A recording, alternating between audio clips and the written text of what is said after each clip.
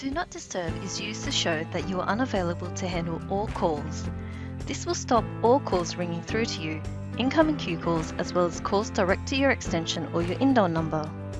You need to change your status accordingly, otherwise, incoming calls will ring through when you are unavailable and you will either be logged out or set to make busy. Use Ignite to set and change your status. Click on your icon in the top right hand corner. Notice State is highlighted blue.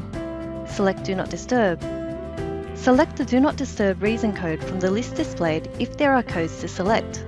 Otherwise, select No D&D reason code. Notice your icon has changed to the appropriate D&D code. Notice the timer counting your time in the Do Not Disturb status. MiCollab is also showing that you are in Do Not Disturb. To make yourself available, click on your icon in the top right corner of Ignite. Select Available.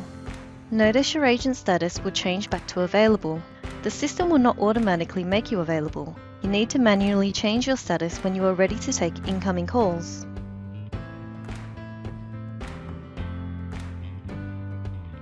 Do Not Disturb can be set from your MiCollab client using your statuses. From your status drop-down options, select Do Not Disturb which is one of your default statuses.